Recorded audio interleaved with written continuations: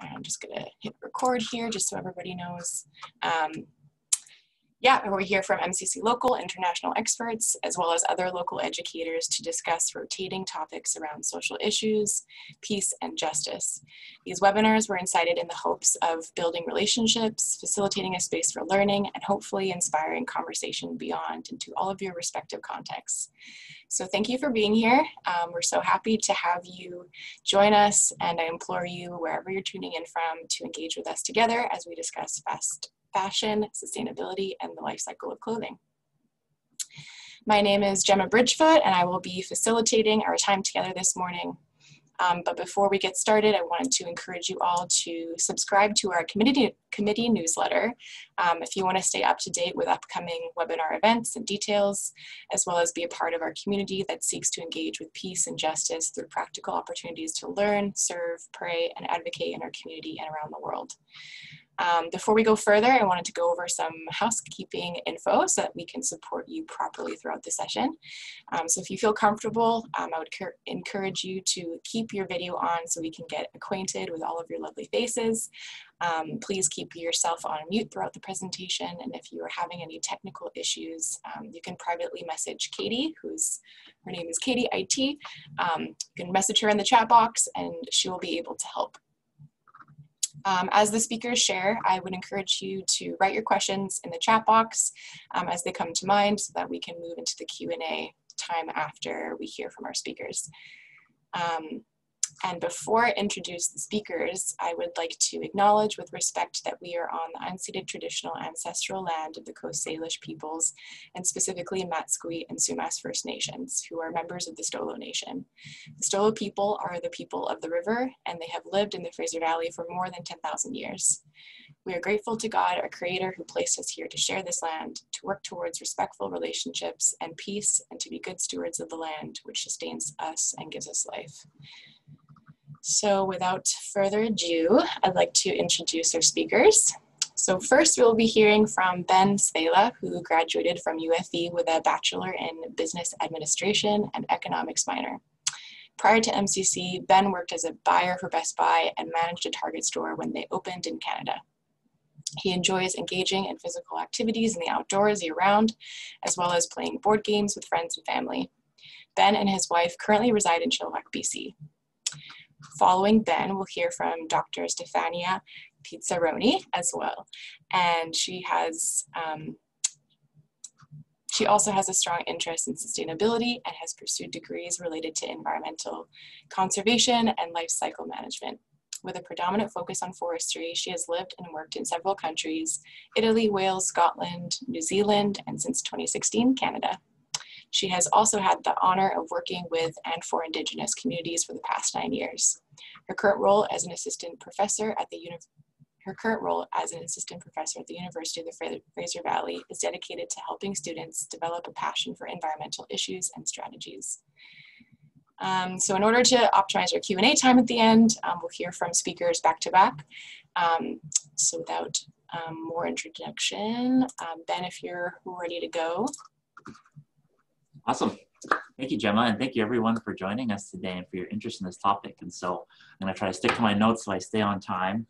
And uh, just want to first start with a bit of an overview of our MCC thrift stores and donation receiving and how that ties into clothing. And so we have, um, we try to seek a ratio of about 90% or higher of volunteers to staff. And so they do a lot of the work for us.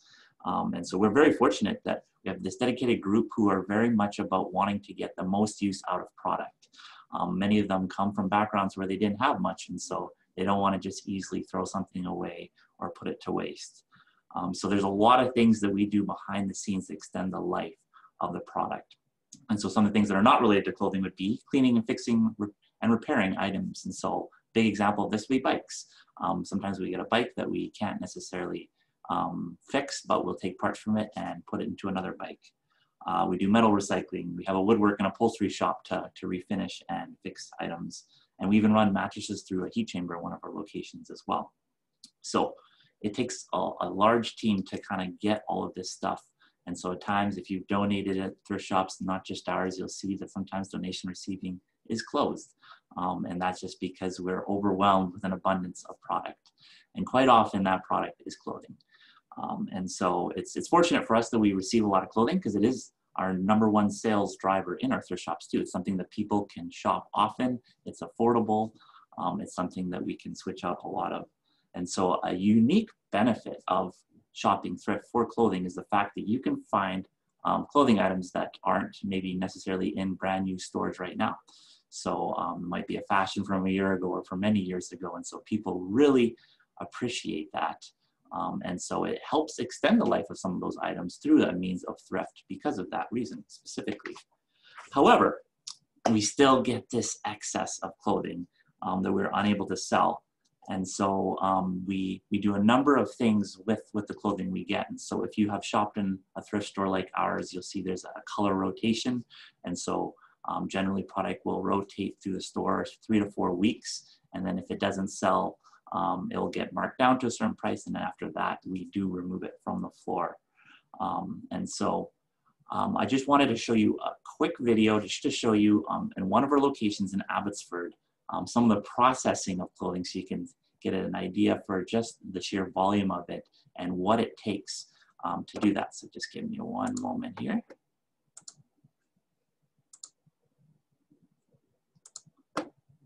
And it's okay if you can't fully hear the audio. And this is the clothing department, which is what you're probably most interested in. So, yeah, so these are the cages and what they look like when they're coming through. Um, and then they've got the great bins in the middle for the clothing that's not good enough. So, Tiffany show you now, every garment, everything, everything gets touched, everything gets assessed. And you can see why it's so labor intensive when you look at all of this and every single thing has to be handled, checked inside, you know, front, back. It's a lot, and you'll so you can see how quickly they'll fill a bin. Mm-hmm. Um, yeah, That's that's the the bin in the middle is the no good bin. that's the stuff that's yeah not good enough to sell. Wow. So All right, so that was Amy, our store manager of that location, just giving a quick run through of the clothing process at Center Thrift. And so the amount of clothing you see there would be typical of a day's worth of donations of clothing. So just think of this process every day of the week um, and, and even more than that at times. And so you see those big cages and it takes about an hour to an hour and a half to process that clothing because we touch every single item. And so um, she mentioned at the end a gray bin. So when we're sorting through, there's product we immediately identify we just can't sell right away. And so we put it into this recycling bin. Um, and I'll explain that where that goes a little bit later. But um, we check the clothing and then we put it on the floor and a lot of it sells, but some of it, it doesn't sell after uh, the four weeks either. And so what we're seeing is a lot more fast fashion type clothing, which is lower quality. Um, a lot of people buy it brand new because it's cheaper and they kind of use the mentality of a one use thing. And so I'm just gonna buy it for this occasion. Um, and so it's, it's a harder product to sell um, because it isn't the same kind of quality. And so it may not be in the same kind of shape as, a, as another item. And there's just so much of it. So when you have that much clothing, it gives people a lot of choice. And so even in a thrift store, it's, you might be surprised, it's, it's hard to sell all of that clothing. And so another thing uh, that is important to note with this is that um, clothing, when you think of it in the grand scheme of everything, is the second largest pollutant in the world, um, second to oil. And um, if you think of uh, the cotton for a t-shirt, takes about 2,700 liters of water. And then, and that's in addition to using insecticides, pesticides as well. So there is a significant um, impact to the environment that is going on with this. And it can take up to 200 years for clothing to decompose. And so knowing about this, what can we do? Because it, it's causing a significant um, challenge for us. And so um, I think it's important to kind of look at what we can do collectively um, and corporately, and also what we can do individually with this as well. And so I, I often use this term where um, when you donate to a thrift store, we don't have this magic wand and it makes your clothing all of a sudden um, be repurposed 100% or recycled. Um, so when we have some of that excess where they're putting it into those other bins, a lot of that we, we sell to a, a reseller. And so a lot of that goes internationally, which has a footprint economically as well, unfortunately. And we're not the only thrift chain that does that. Ideally, we would not want to be able to do that. Um, and then even then, we can't even um, sell everything through those means. We still have to put product through um, the landfill as well. And, and when you think of the fact that not even half of people donate all their clothing to a thrift shop, um, that's just immediately going to the landfill before it even comes to us. And then with some of the thrift stores having to put to the landfill, that's a lot of product that is going there. And so I've had a few different things that um, have come to mind as I, as I brainstorm these sorts of things. And so, you know, there could be, we have recycling tax um, for electronics. And so that could be a possible way to advocate for that um, so that we at the front end are aware this is how much it would cost to recycle, or at least put money into finding different ways to use these fabrics. Um, also educating at the front end of the purchase how what the impact on the environment is, right? Some products are better than others. Um, and so a lot of it is just for us to knowing this. I mean, I've learned a lot in my last five, six years uh, working with MCC in this. Um, and how do we influence clothing companies and manufacturers to, to not use some of these practices that are um, so detrimental? And so it all comes down to demand, right? Uh, it's, it's businesses very much, there's a demand, we're gonna seek to meet that demand. And so I think a lot of it's starting with our business leaders, um, educating them. They're very much about, you know, getting the, the most profit for the shareholder. And so if we could have a more holistic approach to that um, and seeing the social good and the environmental good as well. And so, um, you know, I did business school myself and just even training right in, in business school in that way, having that mentality, I think is a huge part. And I was encouraged to hear from actually one from one of Stefania's peers who's a business instructor at UFV as well, saying that he's seeing a lot of these entrepreneurial minded students are thinking about social good and environmental good. So the momentum is coming already. And then another big part of it is so we can try to fix at the front end too, but we still have the impacts of what has been done already. And so um, we're kind of working with UFV and Stefania and her team as well to figure out are there ways that we can break down these fibers? Because it's really hard when it's multi-fiber product, it's not all the same. Can we do that in a way and then repurpose it um, for different things? Um, there's already companies like Patagonia out there who are been in this landscape for a long time. There's another company in Vancouver called Debrand as well that is helping organizations in this way. And so we're looking at those types of solutions on the other end as well, just to have that full holistic approach. And then individually, there's things that we can do too. Um, and so we can try to repair clothing instead of just thinking, I'm going to buy a new article of clothing, or even um, repairing it before we donate it, because um, we don't always have that manpower or labor or volunteer force that can do it at the store to fix and repair every item of clothing. And when people can be selective, because there's so much to choose from, um, often those articles of clothing get disposed of as well. And we can just aim, think, aim to not purchase um, always, right? And just like, do I really need that item, right? Just having that that second question before moving in that way. And so actually MCC in Canada and the US has just launched a new campaign this week um, about shop thrift first. Um, and, and people can sign this pledge that they're gonna seek to do that. Um, and is there a way of helping the environment in that way? And, and I think they'll be sending a link. Oh, Katie just sent that right now as well. And so um, if you sign this pledge, you get opportunity to sign for get gift cards too. Uh, we do draws for that and, and other uh, contests over the next couple of months, as well as the fact that um, you're just going to get a little bit more education on, on the impacts of the industry. And so um, thank you for giving me the opportunity to share, and I'm just going to pass it over to Stefania. Thanks, Ben. Yeah, it's an excellent summary of everything that you do. It's incredible um, the amount of collaboration that we've uh, achieved over the past few months. But, um, but yeah, it's a pleasure to be here. It's a real honor. I myself am, am speaking to you from Kwantlen and Nooksack territories as a grateful guest. Um, I have been delving into this fashion and the fast fashion space recently because I just developed a course on it called Sustainable Fashion at the University of the Fraser Valley. And fashion is just incredible. I don't consider myself a fashionable person really, but it is uh, so interdisciplinary. It relates to anthropology, to economics, to sociology, philosophy, psychology, history, culture, and of course, to the environment. It is a method of how we express ourselves, how we communicate who we are, what we stand for. Activism can be a form of, uh, of how fashion is communicated. Fashion can transform politics, it can transform markets and industries. It is very dynamic, just like any other form of communication, and it is variable across time and place. It is a way for cultural expression, therefore, but as we'll see in a few minutes, it is also a form of cultural oppression in many places of the world as well. So I consider, you know, myself, again, not too fashionable, but it's something that I've started to reflect upon.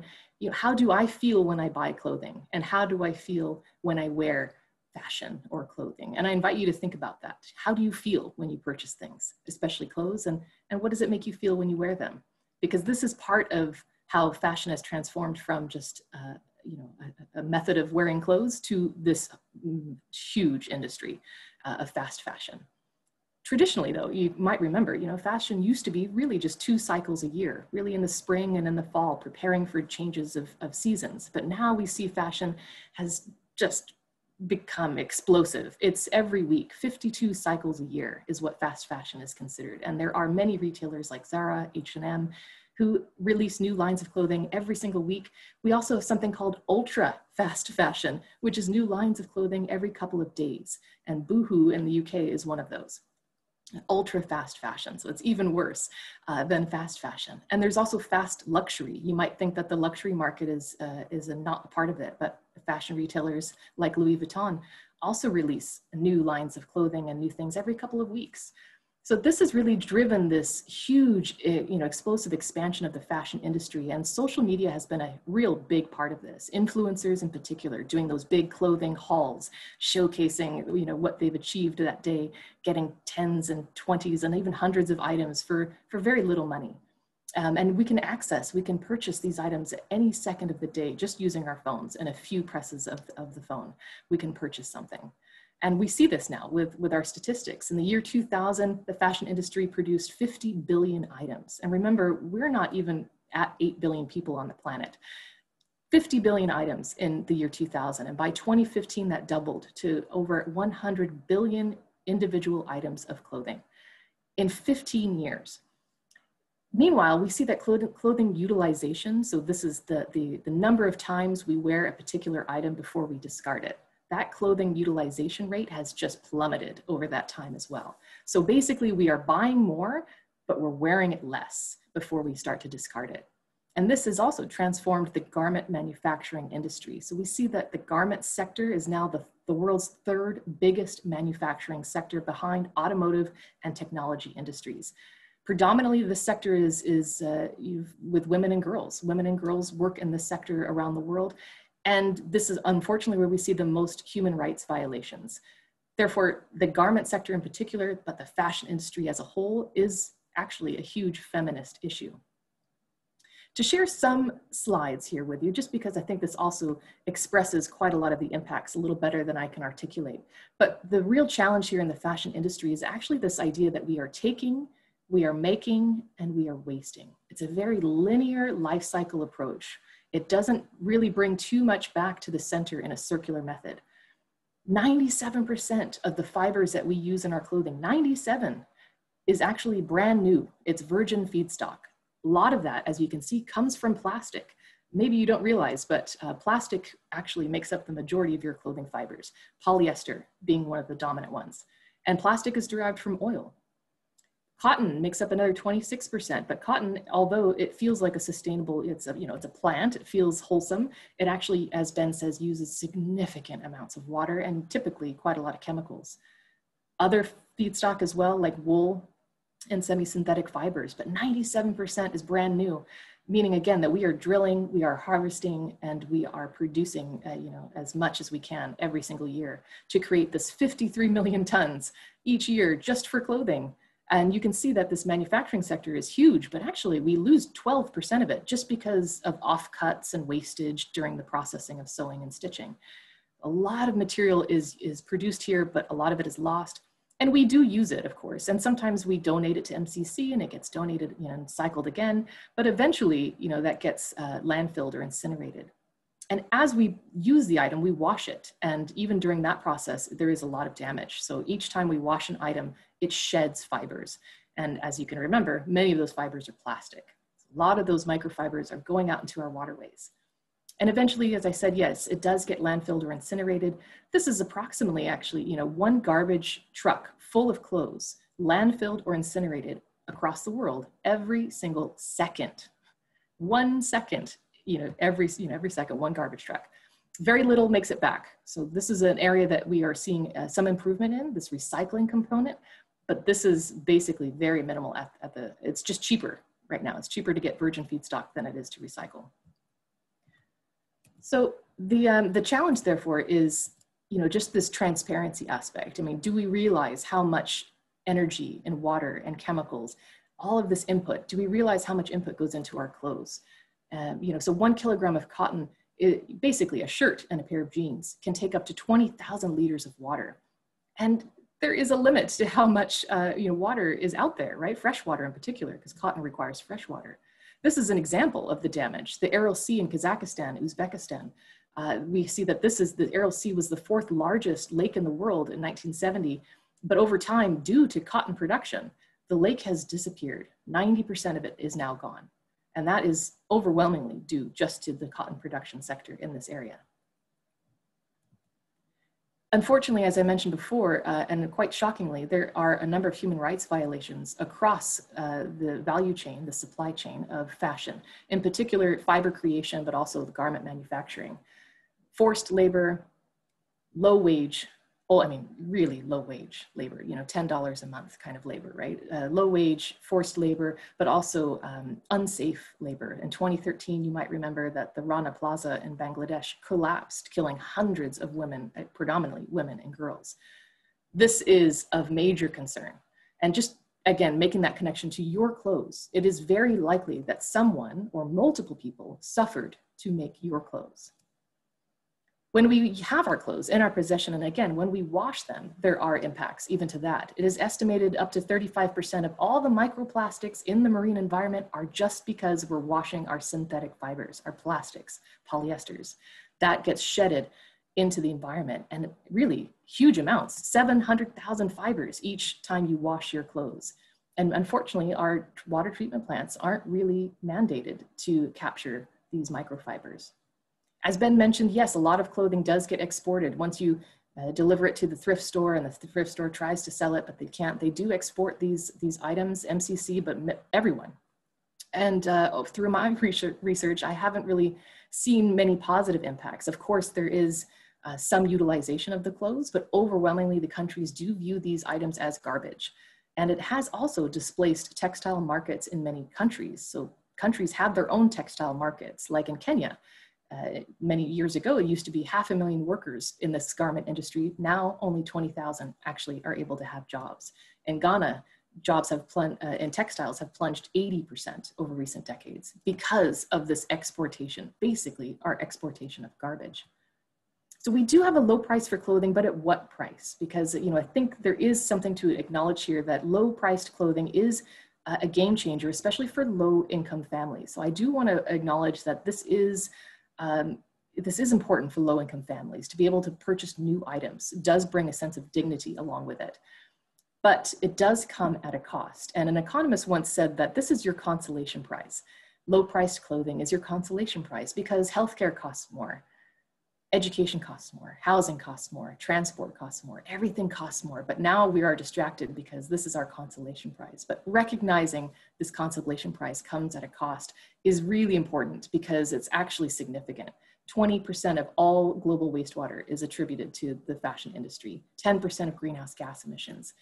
And that's just in the textile uh, production alone. Textile production alone is 1.2 billion tons of co2 more than flights and maritime shipping combined and if you reflect on the full life cycle of the, of the fashion, from, from material production to garment production to retail to consumer and to end of life, that's actually over 3 billion tons of CO2 each year.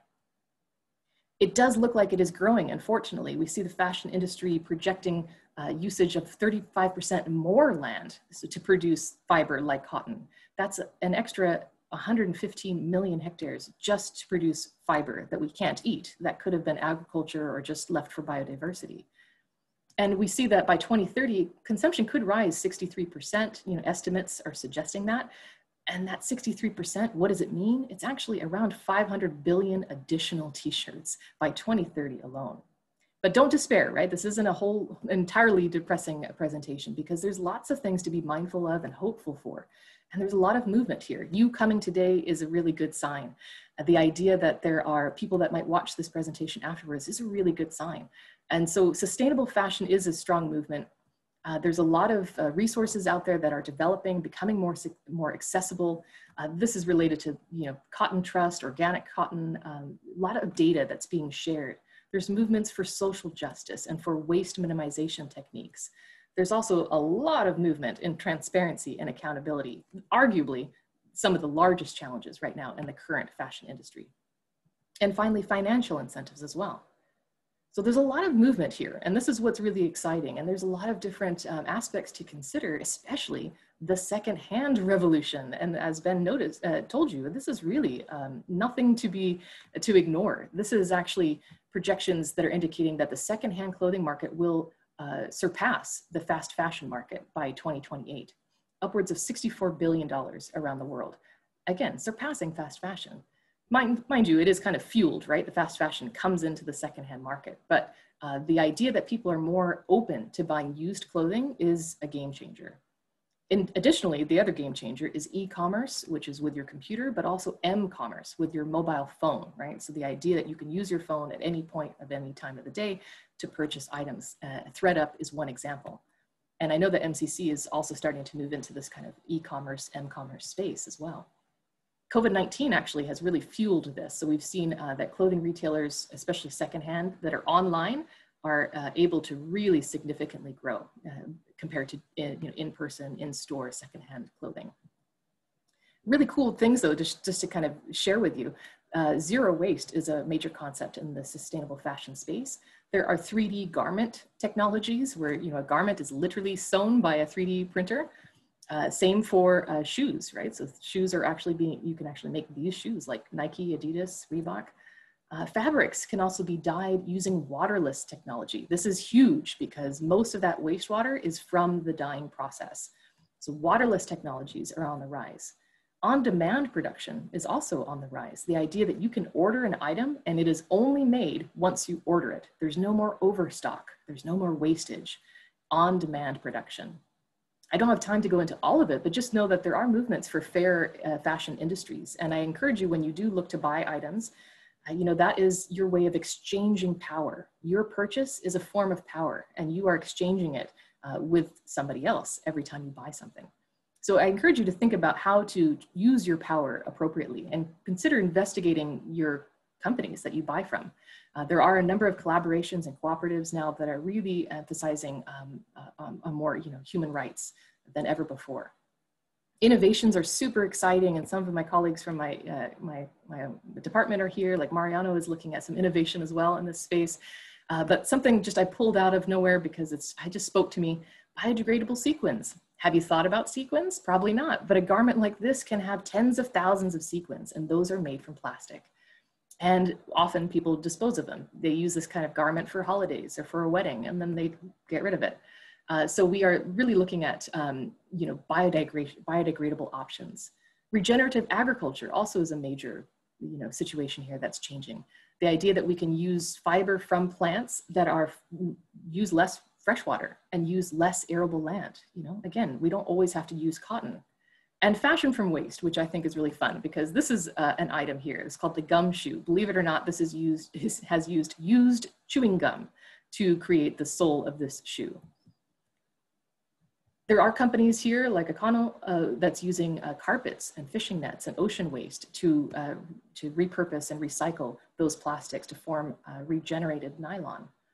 Piñatex is using natural textiles waste from pineapple production. So it's using the leaves from pineapple production to make this leather-like material.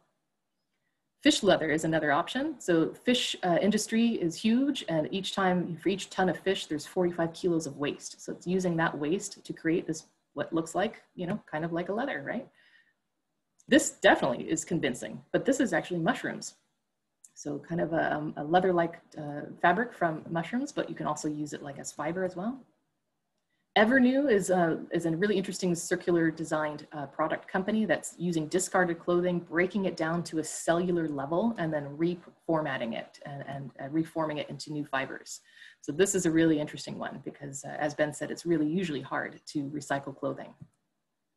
People Tree, a really great company, right? And I've, I've investigated quite a few, but People Tree uh, definitely is putting a lot of effort into fair trade producers, uh, garment workers, and is making this kind of transparency, as you see here, super easy to get to. So you know who made your clothing at each step. And so they're really uh, focusing on this who made my clothes kind of hashtag. And that speaks to this idea that we can design for empathy. We can engage in the sector with empathy and we should because we should have more relationship to our clothes currently i think we can all look in our closets and and have 98% of the clothing we don't have an attachment to and that is really why we are able to waste it to throw it away to discard it without a second thought because we don't have that relationship but if we can develop more of that relationship maybe we can realize that there are emotional and narrative cues like who made the clothing and where was it made and is it designed for me? Did somebody make it specifically for me? Is it transformative and adaptable to who I am and to my needs? Because these are aspects that will uh, increase your attachment and increase your ability to care for that item. Clothing is a story. You are part of that story. It is not just an object.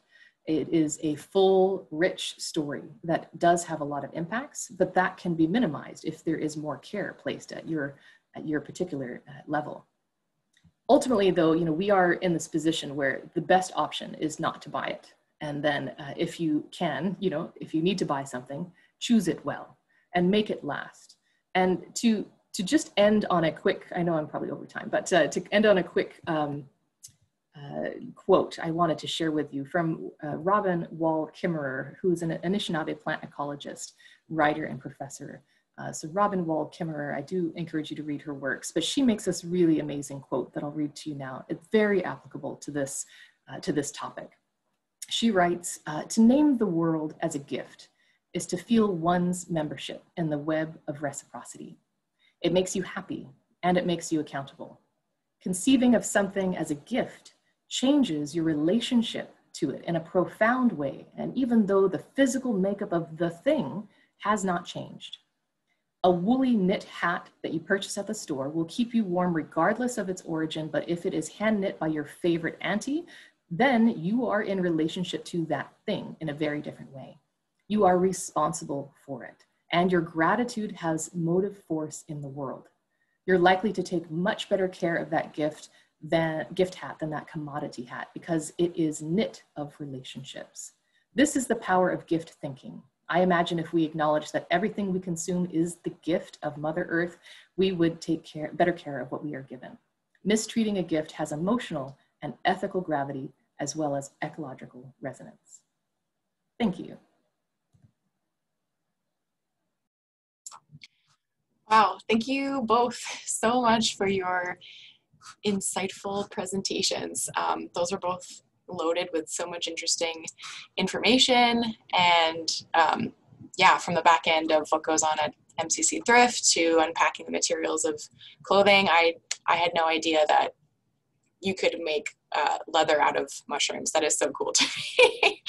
um, yeah, and then also learning about the impact of the production has on the environment um, and people. And so we know from just from hearing from both of you that this the the issue of fast fashion is both environmental but also extremely humanitarian as well. Um, so we are going to transition now into um, Q&A period. So if there's anything that sticks out to you guys, um, or if you have follow-up questions, please post them in the chat box. Um, so just to get us started here, um, I know, um, I think you kind of touched a little bit about kind of what's been going on since COVID. Um, but I just wanted to, um, yeah, I'm wondering kind of like since the pandemic, like how has how has things like supply chains or consumer behavior um, kind of changed, I guess, since since COVID? What are the impacts been? Um, and Ben, you can speak to this maybe too. What are the impacts been on thrift? Um, but yeah, I don't know if either of you guys. Yeah, it's a good, that. good question. I think, uh, and Ben, I think can also answer this. It seems like there's a few different dimensions, but uh, certainly purchasing of new items has has dropped significantly, except for uh, like waist up items. You know, so everyone online at work, you know, so the, the work tops have sold, the work bottoms have plummeted. You know, there's no purchasing of that. Um, but new items uh, purchases have plummeted. And so the, the, the, projections are really stark for this upcoming year about uh, how the fashion industry is going to cope with that. And unfortunately, that does impact uh, produce garment manufacturers the most because that's their livelihood. Uh, and so it's nothing that can be remedied very, very quickly. So new, new purchases have uh, decreased, but online purchases, as you can imagine, have soared. So there are still a number of people buying online uh, new items. As I mentioned, there's a lot of people buying online for secondhand items. That's also quite interesting. Um, and I think Ben has noted a pretty sharp uptick in donations during COVID. Yeah, no, just to speak on that, we've always been heavy on donations and that hasn't changed during COVID. And uh, the interesting thing is, as people go buy more online, specifically clothing, you can't try it on, right? So you order something online and not everyone will return it to the online reseller. So Thrift benefits from getting brand new articles of clothing um, donated to the stores that were purchased online in that sense. Um, and so, yeah, and people just through the pandemic have been purging their closets to purging their homes. They got all this time. And so donations are, are definitely not lacking for us. It is still a feel good item though. I mean, I think that's, that's what, how the fast fashion industry has risen is because it's cheap and it makes us feel good for a moment. Uh, purchasing it, it releases endorphins, and then uh, the idea that you're wearing the latest trend also releases those same endorphins. You feel part of a community. And some companies, like I mentioned, Boohoo, are exclusively online. Uh, and so they are very mobile in this current space right now and COVID-19. So they have been very quick to transition to leisure wear and to, you know, sweatpants and to other items very quick versus like H&M and Zara that are more kind of brick and mortar. So these companies, uh, the ultra fast fashion ones, and mind you, are, are doing pretty well. Uh, so it's really, um, you know, something to think about in terms of how that will shape into the future. Will it continue? It's possible.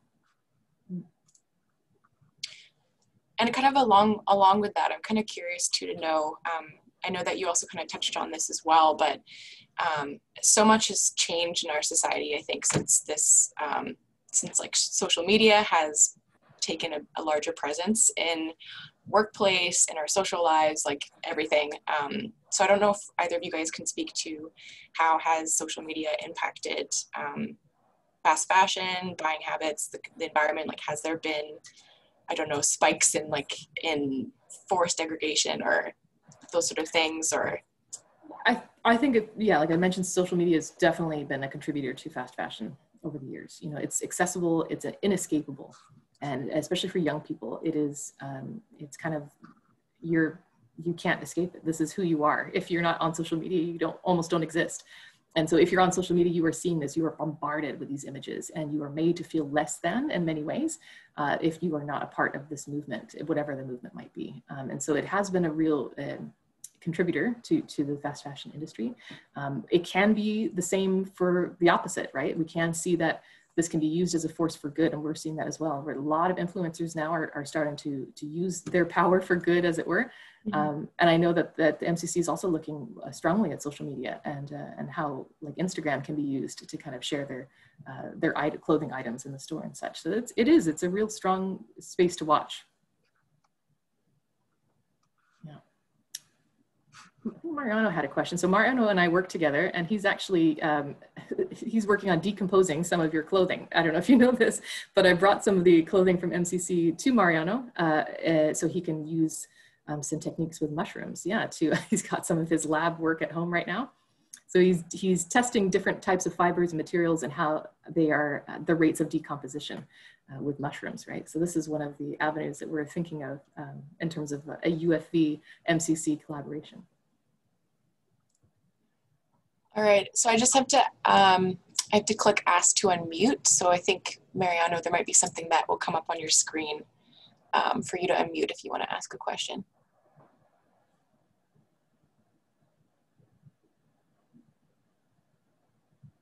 I don't know if you see it.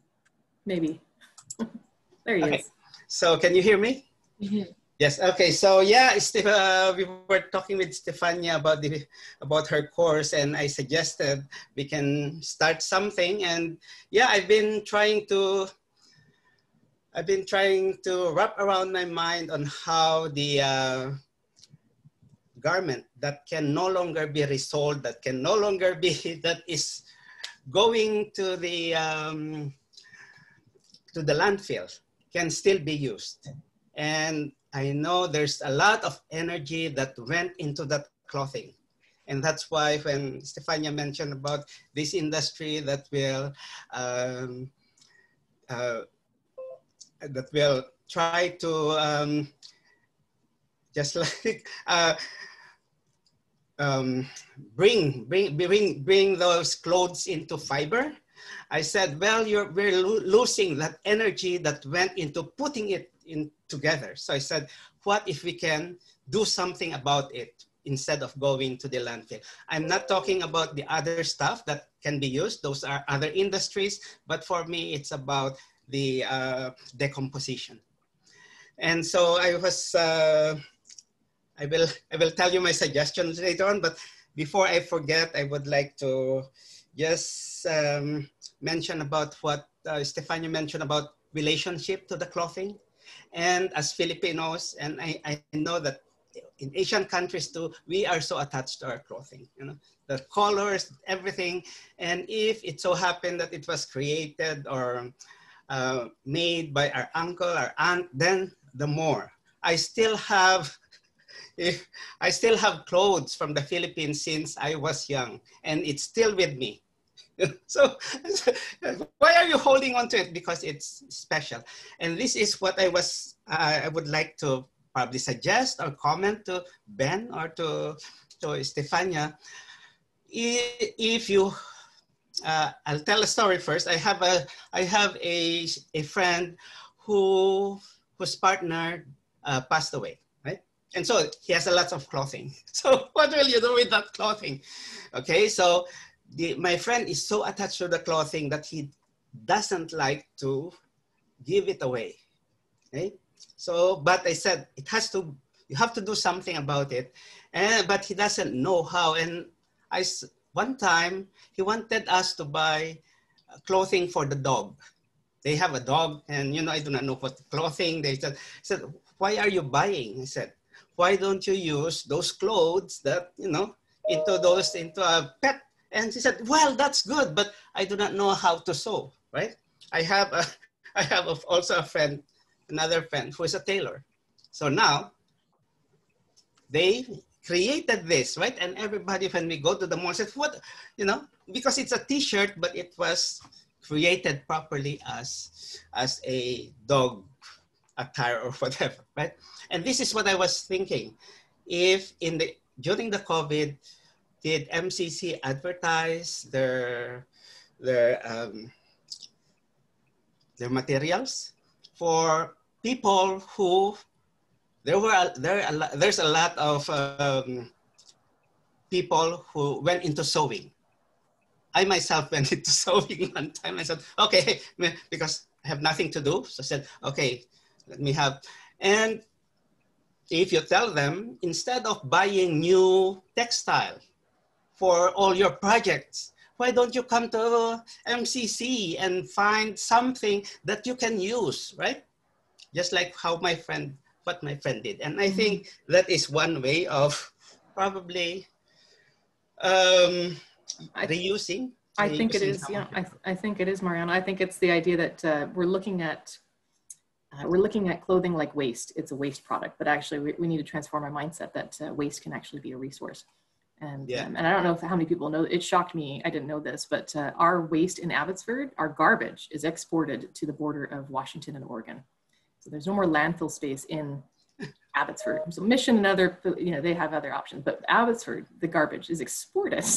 Uh, so, so when we're throwing away our clothing, imagine that it's going that distance. Um, so yeah, my idea is uh, for now, I'm making this small pots. These are pots uh, of clothing.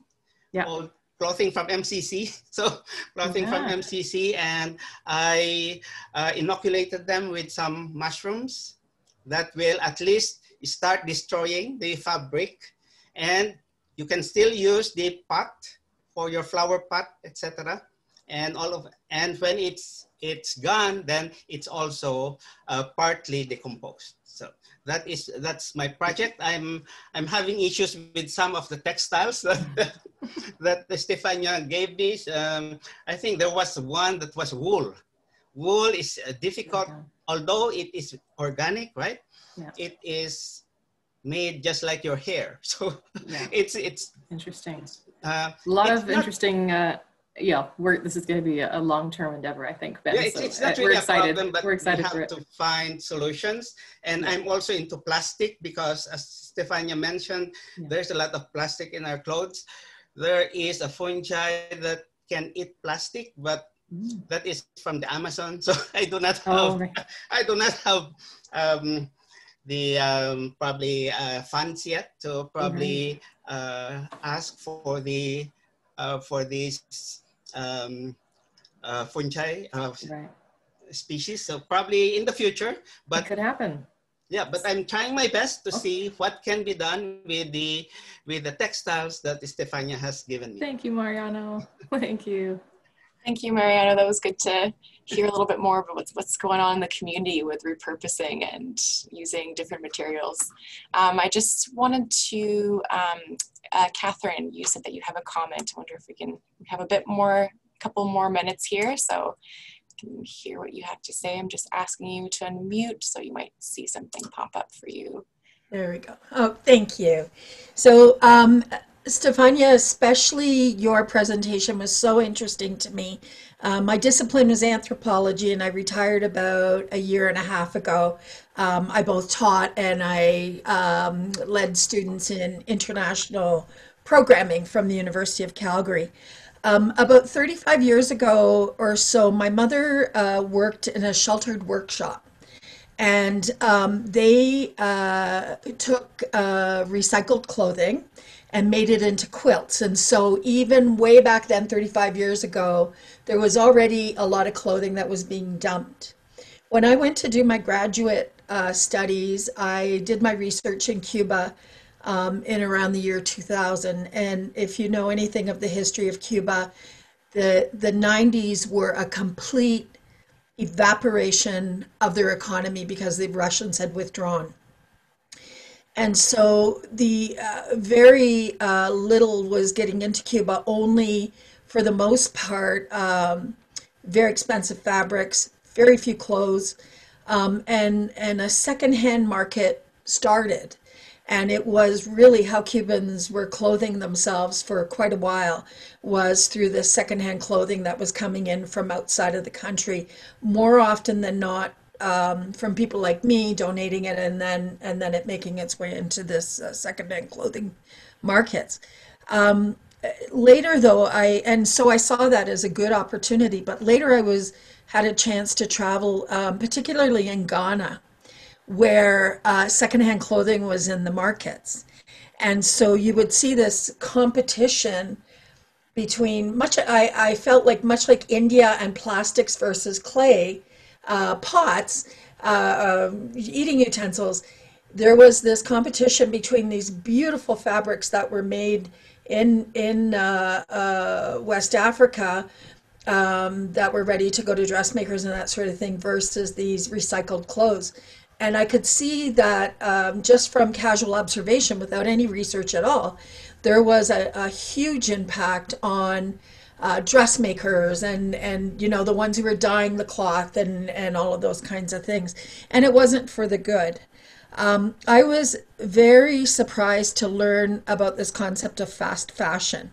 I have always been attached to my clothes. I love I go and I buy them. I buy them for comfort. I buy I bought this one because it's so large and I can wrap myself up in it and and be cozy. And and this ideology behind disposable or or clothing that we can move through quickly. And I wonder if, you know, we talk about it sort of as the end, like what are we going to do at the end product? But what is it that we're going to do in the beginning to stop uh, people from doing this? I mean, this is, you know, uh, we have these opportunities, for example, in curriculum in primary schools to get our, our kids thinking differently. Also, uh, fakes and replicas. I mean, that's a another huge issue. Like, I, I can't afford the Chanel purse, but I can buy the fake Chanel purse um, or the fake Chanel clothing. And so I find that for me, anthropologically, I always think like, where is it that we can go back? Let's let's backtrack this um, uh, to a point where we can slow things down. Anyway, the other one I thought about was furniture because again, large amounts of fabric and stuffing and all of those kinds of things, wood, um, and and people will also treat furniture as very disposable. So that's all I had. My comments. Thank you for your time and thank you for your presentations. It was wonderful. Thank you. Yeah. No, Catherine, you raised some good points. I mean, the, the idea that we don't have relationships to furniture, clothing, all that makes a huge impact as we can yeah. see. And, and, you know the, the real change starts with uh, i mean unfortunately it is human behavior. So it starts yeah. with us as consumers and there would be no fast fashion if there wasn't demand. So it is about changing our demand and what we are demanding. So um, 80% roughly 80% of the decisions related to clothing is at the designer level. So the designer uh, is also a, a major power holder in the whole sphere of fashion. So they decide the materials and how to, you know, how to make the cuts and how it's sewn together, what yeah. types of durability it's likely to have. And uh, yeah. it's really um, a, a, major consequence of fast fashion is that uh, it's so fast that the designers don't have real time to actually test their items. And yeah. so that's why, you know, when it comes to the MCC, it's, you know, zippers are falling off or buttons are missing because there's no durability testing as there used to be. And so we are producing items so quickly that it's just a guess uh, as to its durability. But um, designers have a huge power because they can choose recycled fibers or they can choose more sustainable fibers. Uh, but that demand has to be there as well. So they have to be responsive to the customer. And unfortunately, that's us, right? So we, as again, consumers, do have this power transaction in our hands each time we, we make a purchase. Exactly. Um, so a lot of it, a lot of the power is us. Um, legally, there are a lot of policies, though, that can be in, in place. And uh, places like Sweden, for example, I've put in a position here where you can charge the producer. So it's an extended producer responsibility, EPR. The producer deals with it. So once it gets to the end, the producer is responsible for uh, managing the waste and dealing and paying for that. Uh, so EPR is a, is a major policy. Um, I think Ben mentioned the idea that we should put a little tax on it. It's interesting that the yep. UK proposed that a few years ago. One penny, one penny per item, and it didn't pass. No.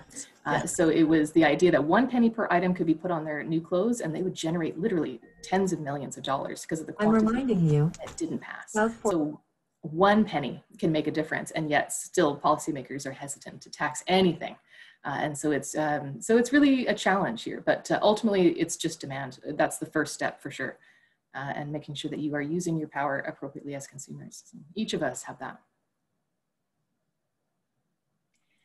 All right, thank, thank you. you. so much for everyone engaging in uh, the Q&A and thinking critically.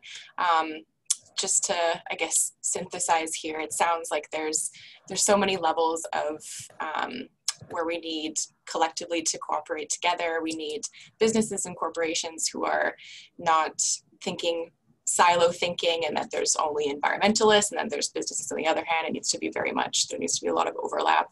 Um, but then also us as consumers um, I hear from both presentations that um, we have responsibility um, as consumers to either buy from or promote brands that like Patagonia that are doing their their fair share at um, being stewards of the environment, um, but also um, making their clothing ethically um, or repairing goods, repurposing goods, which we heard with the mushrooms and the cool things that are happening with all those uh, materials. Um, and then there's also the hard um, truth of just buying less. And I think that is the, you know, that's not the attractive answer, but I think it really is in a lot of ways something that we have to challenge ourselves with. Um, is just why are we buying goods? What kinds of goods are we buying? And just like, do you actually need these things? And um, yeah, so I just want to say thank you to both uh, speakers. Um, it was just so interesting to hear from both of you. Um, thank you everyone for engaging. Um, and just to wrap this up, so our next uh, webinar will be taking place on May 13th, um, and we're going to be hearing from our Indigenous Neighbors Coordinator. Um, so there'll be more details on the website um, on that to come, but that will be really interesting. Um, we'll also be sending everyone a follow-up email with a very short survey, um, or uh, Katie, I think she's going to be posting a, um, feedback form in the chat. Um, it just takes one minute and that will help us improve our sessions so that we can serve you guys better. Um, so again, thank you for tuning in and um, to our speakers for sharing um, with your sharing us with, with us your knowledge and expertise. Um, I hope you all have a great rest of your day and enjoy the sunshine. So take care, everyone. Thank you so much.